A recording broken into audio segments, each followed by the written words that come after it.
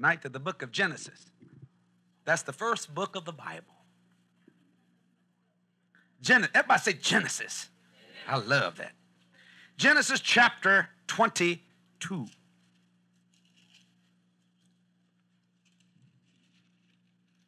I want to talk about something tonight that God is going to really believe bore into your spirit.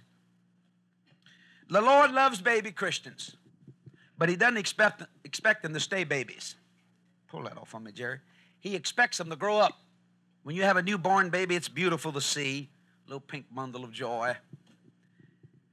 But you want that baby to grow in the fullness and the stature that, it, that, it's capable of doing.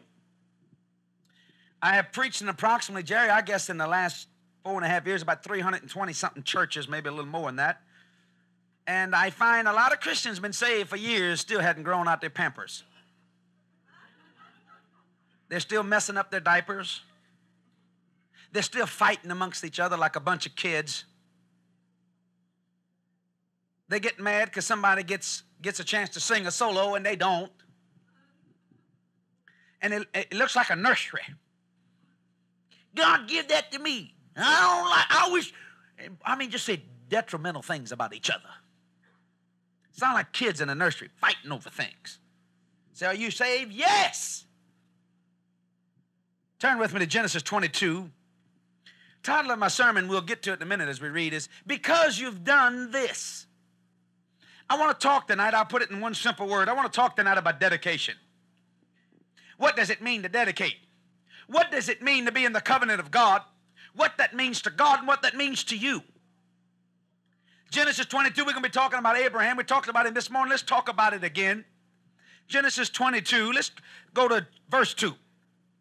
God's talking to Abraham and he says, he says this, and he said, Take now thy son, thy only son Isaac, whom thou lovest. You notice God told him that he loved this boy, and God asked him for the most precious thing he had whom thou lovest, and get thee into the land of Moriah, and offer him there for a burnt offering upon one of the mountains, which I will tell thee of. Didn't even tell him, wait, what mountain is going to happen? Just told him to take his boy that he loves, that he waited 25 years for.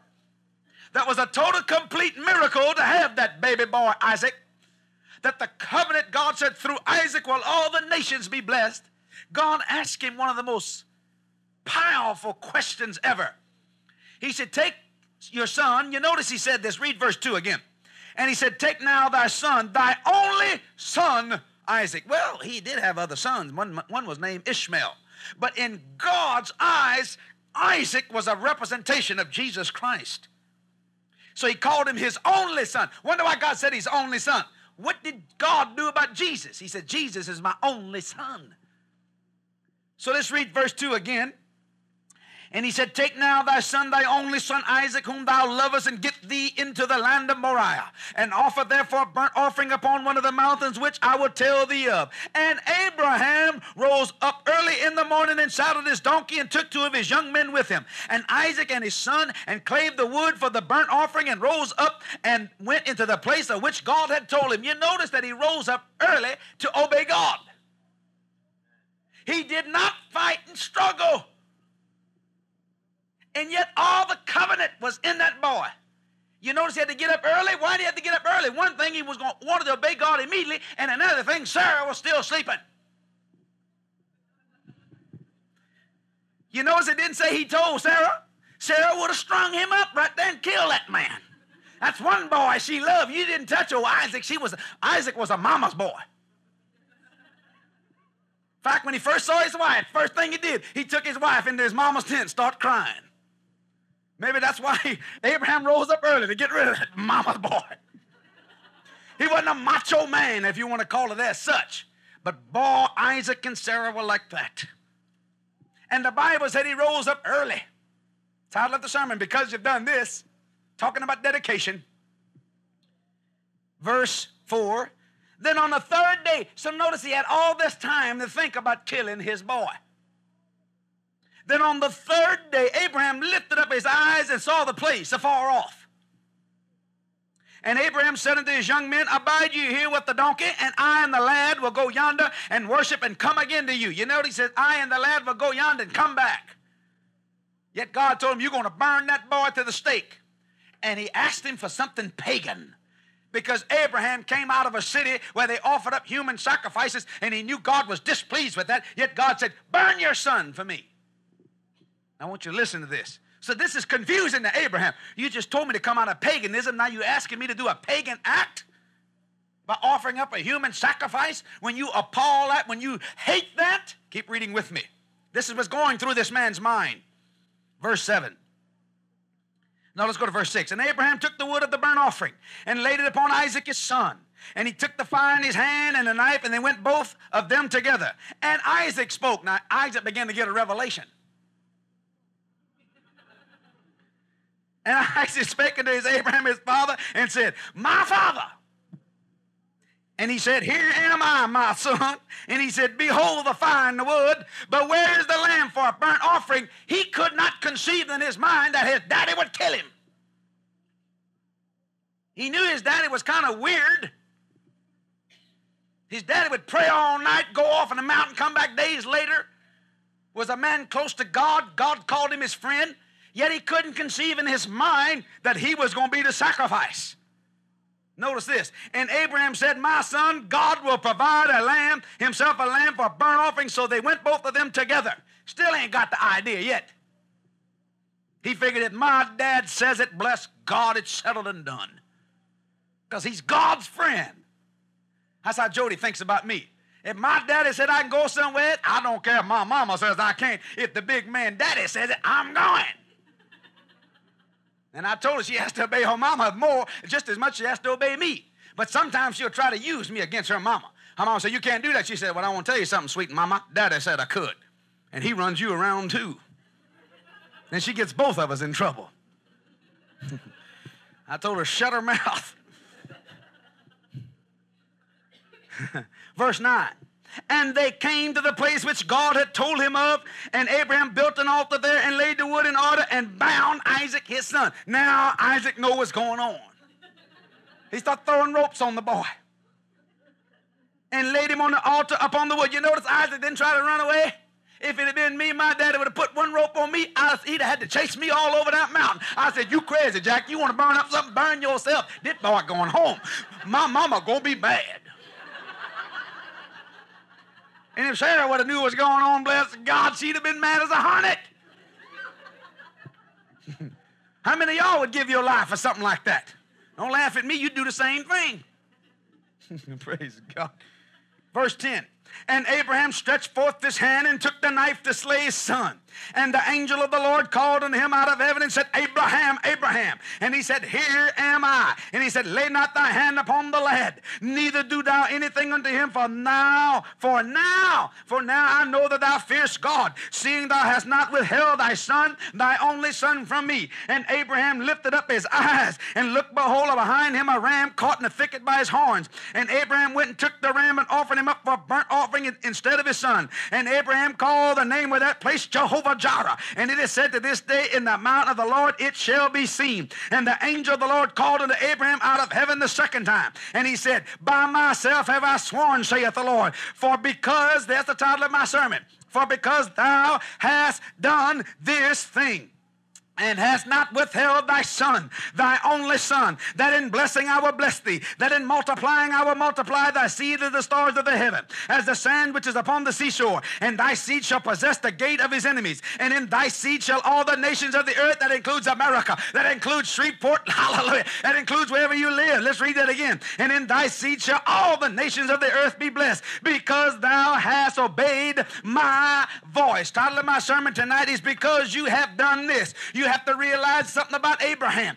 God asked him to do a pagan thing, and he could not conceive how God could offer up human sacrifices. He said when he knew God told him to get out of that city because they'd done those things. But yet, because he loved God so much, he because he dedicated himself to the Lord, he didn't think it was odd that God would ask him for his most precious gift. I want to let you know the reason why he thought that because God had cut a covenant with Abraham, and God knew without a shadow of a doubt that he could. That God knew, and Abraham knew that that covenant could not be broken. Abraham, I mean Jesus, God Himself said, I'll swear by no one greater than myself. If I break this covenant, I'll cease to be God. That's actually what God said to that man. So he made up his mind. He said, If I got to kill this boy, he said, I'll do what Jesus told me to do. But bless God, after I put the knife in him, I'll pull it out, lay my hands on him, brother, because Jehovah Jireh is my provider. I don't care what the devil said. If God wants everything I got, he can have it all. And God never once thought twice to ask for his most prized possession, and he won't think twice to ask you for everything you got. You know why? Because you have a covenant with him, and I want to let you know something, brother. You don't think twice to ask him for anything he's got. If you have a need, you don't think twice to go to that throne and ask him for it. Why? Because you are, have a covenant with him, and you know who he is, and he knows who you are. So really, the relationship is one and the same. It's called dedication. It took dedication to get that man, to get that boy out on that wood, to stab that boy. But the Bible said, Because thou hast done this thing, and hast not withheld thy son, thy only son. I believe Abraham, when that angel cried out and said, Don't hurt that boy. I believe he took that knife, praise God. He saw that ram, he ripped that ram loose, burnt that offering, and threw that knife as far away as he could. I believe he had a Holy Ghost shot down time on there. But I want to tell you something. People, God stopped the knife that went into Isaac. It didn't touch him, but nobody Nobody stopped the Roman spear that pierced Jesus, brother. When Jesus laid upon a cross and they drove nails in his hand and he sweat drops of blood, brother. Who did he do that for? He did it for you people here in Shreveport, Louisiana. He did it for all your sin, brother. Nobody stopped the Roman spear that jug busted him in the side. Jesus had to die. Isaac got delivered, but Jesus had to die. But I want to let you know he's not dead no more. Brother, he's set to the right hand of the Father, making intercession for you this day. Hallelujah, Lord. Praise the name of Jesus. Because thou hast done this. He said, Boy, because you've given me everything you got, they won't be able to count all the money I'm going to give you. They ain't going to be able to count, bless God, every nation on the world is going to be blessed because you have done this. Has God told you to do something you hadn't done? Has something been greater in your eyes than the precious obedience that Jesus asked you to do? Have you dedicated yourself to the Lord to such a degree that if He asked you for anything, you'd give it, whether it be physical or spiritual? Have you stood on the Word of God and believed? Because thou hast done this. Because thou hast done this. What caused that man to do that? Dedication. So, point one of this sermon is dedication is essential in spiritual development for the believer. If you you will not grow until you dedicate yourself to the Lord to such a degree that everything you possess is His and everything He possesses is yours. When you understand that in that relationship, brother, then you wouldn't think twice if God told you to sell everything you got and gave it away. And you, God wouldn't think twice if you say, God, in the name of Jesus, I want a hundred million dollars. I need it to go across this world. I need to do it. You wouldn't think twice to ask God to pay your bills. He wouldn't think twice to ask you to pay his. Why? Because you got a covenant between each other. God could pay his own bills. The only reason he put giving in the Bible was just so you could get blessed. He don't need no money. By no means. He only does it because you know what? He figured if he got the man's wallet, he got his heart. If you don't believe me, ask wives. They'll tell you. This notice that dedication is essential in spiritual development for the believer. St. John chapter 7, verse 17. If any man will do his will, he shall know of the doctrine, whether it be of God or whether I speak of myself. If you want to turn to St. John 7, verse 17, you can read it for yourself. It takes dedication to believe this word of God. I mean, I want you to realize something, brother. God asked that man, and his mind was thinking, this is pagan. But yet, if God tells me to do it, I'll do it, and I don't care what anybody says. I know everybody thinks I'm nuts. They think I went to the extreme. They think I went off my end, but bless the Lord. That's one thing I know, and I know God's voice. And if God tells me to do something, I'm not out here to get popularity. I'm not out here to explain why I do some of the things I do. I just tell people God told me to do it. If they don't like it, I'm sorry. Pick it up with God. He's the one that instituted the thing.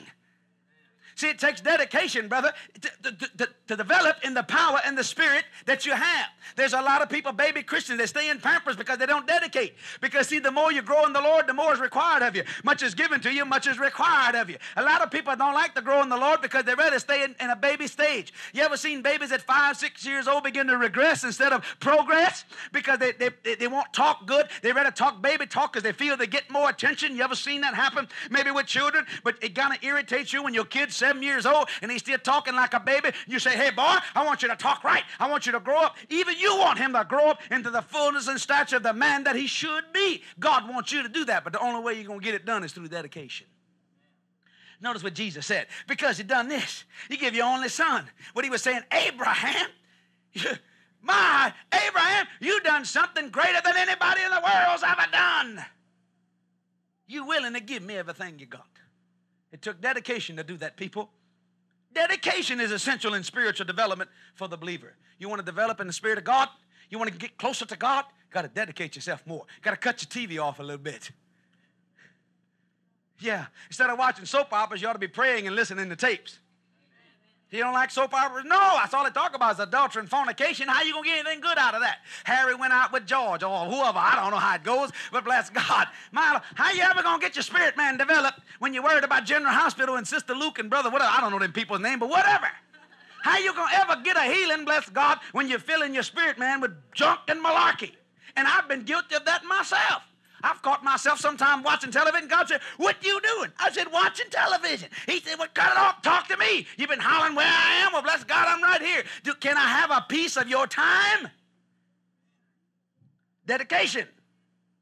God always want to talk to me during a football game. Or the U.S. Open, the tennis match between Lendl and Connors. Bang! I said, Good Lord. He said, Talk to me. Wait a minute, God, let me see the serve first, will you? Dedication is essential for spiritual development. It takes spiritual development. See, when you dedicate yourself to the Lord, then the visions of faith come all the time, and you're not worried about what things, what's going to happen, brother. You've dedicated yourself so much to God. God is saying the same thing He said about, about Abraham. Because you've done this, because you've done this, because you re- released everything to me, I'm going to release everything to you. Isn't that Jesus? Why? Think about Abraham. Think of the thing that went through his mind. He want to kill that boy. But he said, if I got to kill him, I'll please my father. Because I know my father won't leave him dead. And he named the place Jehovah Jireh. What does it mean, people? Do anybody know? My what? My what?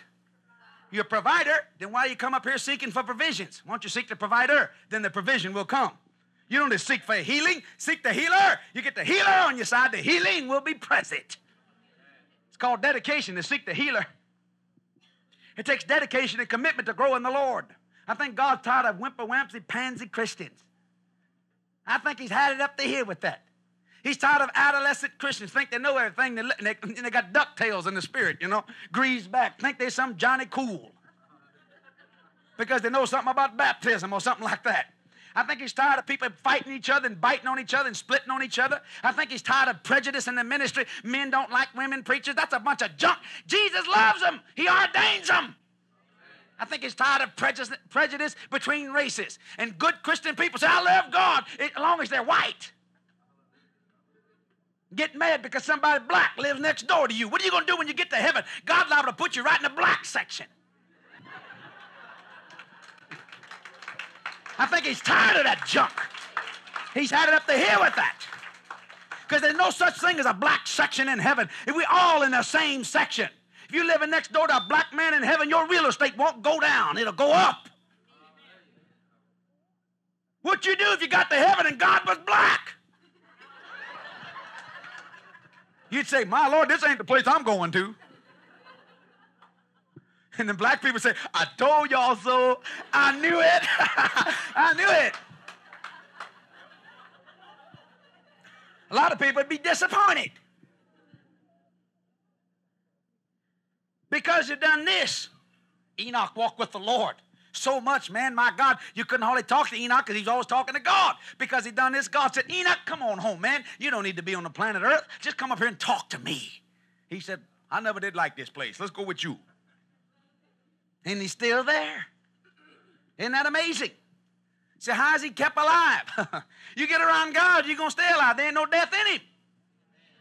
You follow what I'm trying to say? Dedication. Have you dedicated yourself to the Lord?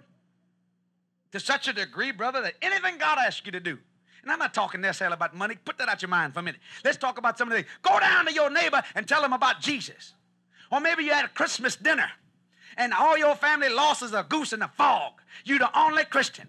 And then God says, stand up and pray over all this food and rebuke the devil and bind the demons and bless the food. And you think, oh, if God only knew my mother-in-law. He does. He does. See, my mother-in-law thinks I am a stone crazy fanatic. Every one of her, well, not all, um, yeah, just bless God, all of them. Every one of her daughters and her son has got saved under my ministry. She said, He is infecting the whole family. Hallelujah. My brother-in-law's building the church, like to blow it away. She called him and said, Jules, don't get crazy. You ain't gonna get like Jesse. He said, Bless God, I'm getting better than Jesse. I want to get like God. He said, You need to get saved, woman. I called up and said, I told you so. But I tell you what, they spit on us, boy. Call me and my wife all kind of stupid names, which I did not particularly like. Jesus said, You make a stand for me, you dedicate yourself. I said, God, just let me hit that woman one time. I'll make her reach out to you fast, brother. He said she'll come to the knowledge of Jesus when she sees the love of the Lord in y'all. We used to go eat crawfish. We, well, we still go eat crawfish. You know, kids and eat crawfish. Boy, they bring out the beer by the buckets full. And they all walk up to me. Hey, what happened now, preacher? How about a drink? I said, I'll tell you what, I'll take a drink of that if you take a drink of my Holy Ghost. What do you think? Oh, no, thank you. We don't want any of that. I said, right, let me give you some new wine. I believe God, God will help me. I'll, I'll take a sip of beer, bless God. I'll spit it out, but it can't spit the Holy Ghost out. Once it gets inside you, brother, it stays. Hallelujah. Yeah, hallelujah. Glory to God. Dedication is essential in spiritual development. I've heard people say, Brother Jesse, you're growing in the Lord. You know why? Because I've dedicated myself to Him. It ain't easy preaching 51 revivals a year. It ain't easy leaving your family every week, every week, every week, every week, and your child's growing up and you don't hardly see it. That ain't easy if you're any kind of daddy, but bless the Lord, as a world out there that needs to come to the knowledge of Jesus, and God has given me a ministry to go out forth and minister that work, just like He gave you a ministry to pastor this church. And He gave you a ministry to tell everybody that's working for you or working with you, bless God, about Jesus Christ. Not about the assemblies of God not about the Methodist or the Baptist or the word, a word of faith, but Jesus. Then let God explain to them where He wants them to go. He'll probably blow you away. He may send them to the Episcopalians. Because Jesus loves them. Dedication. It takes dedication in this word when people are making fun of you. They do it all the time, but I don't care. When their babies get sick, they come call me. It's all right. He said, Jesse, because you've done this. Boy, there's been times, I tell you what, brother, when I get around my family, especially my wife's family, my Lord, I didn't even want to go down there because all they're going to do is harass me. All they saw was the nightclub entertainer and the drunk and the drug man. All they could think about was what I used to take drugs and drink booze, man. How you talk about? I kept people in, I drank a fifth of whiskey a day for years. And much drugs as I get my hands on. I was an adulterer, bad. I was a nightclub entertainer. I was out all the time. I never, I, a lot of times I never see the sun. I, uh, I never see it go down. I went to bed at 5.30 in the morning and got up at 6 that night or something like that. It was already down. I was a night person. I was a terrible individual. That's what they remember. But now when they see the Jesus ruling and reigning in my life, they say, my God, you know they fought me harder as a Christian than they did as a sinner? And I got to thinking, my Lord, my life's been changed around. Am I, I'm not doing the bad, terrible trash that I used to do. Least they ought to do is love me, and they, they come at me. But that don't make no difference. Praise God. I let the love of the Lord come out. I dedicated myself. You know what God told me and my wife? He said, because you and Cathy done what I told you to do, I'm going to get them all saved. And I want to let you know, he got them all except old Irene, and she that close. Hallelujah. Say, how do you know she's that close? Because she called my house. She's going in the hospital there in a couple of days. She said, Would you mind, Cathy, you and Jesse pray for my leg? I said, I'll pray for your leg if you just let me pray for the rest of you. I'm going to pray for a spirit. See? Dedication is essential in spiritual development for the believer. If any man, St. John 7, verse 17, if any man will do his will, he shall know of the doctrine. What's the doctrine? The doctrine of Jesus Christ, whether it be of God or whether I speak of myself. Listen to this point. Dedication brings out the agape love of the believer for the world to see. When you dedicate it to the Lord, you're going to be full of love. I hadn't seen a lot of Christians full of love. I've seen a lot of sloppy agape, I'll tell you that much. A lot of kissing and hugging and stabbing in the back at the same time. Love you, sister. I wish you'd leave town, but we love you. Yeah. A dedicated person is a matured Christian in the Lord. Read the point with me again. Dedication brings out the agape love of the believer for the world to see. Turn with me to Psalms 42, verse 2.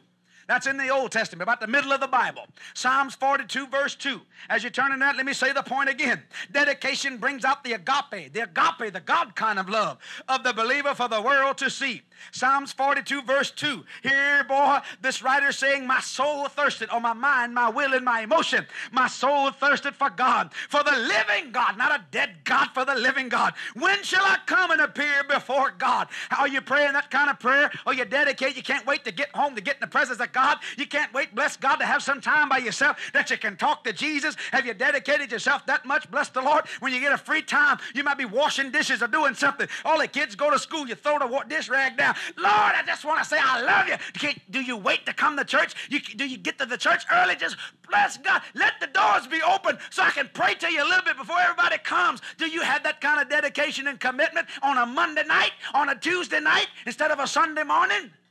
Are you a Sunday morning Christian? Most Sunday morning Christians are going to hell. How do you know that? The Bible said, if you're lukewarm, I'll spit you out of my mouth. You ought to hear my sermon. Are you a Christian or a disciple? Did you get that tape, Vicky? You have that tape? Oh, you talk, it separates the Christians from the disciples quick. I find out that a lot of Christians going to bust hell wide open. Sunday morning Christian, tithe paying Christians, because they're not disciples of Jesus. And God said, You know my disciples by the love they have one for another. And I know a lot of good people, good people that'll cut your guts out, let you bleed, and have the gall and audacity to say they're filled with the Spirit of God and say malicious things about you and hurt you. That's not the agape love of God. Jesus said, You want to know who's going to heaven? If love's flowing out of him, if love's flowing out of her. Thanks for listening to this powerful message by Jesse Duplantis. Remember to hit like, subscribe, and the notification bell in order to be up to date with all things Jesse Duplantis Ministries. For more information, visit our website at jdm.org.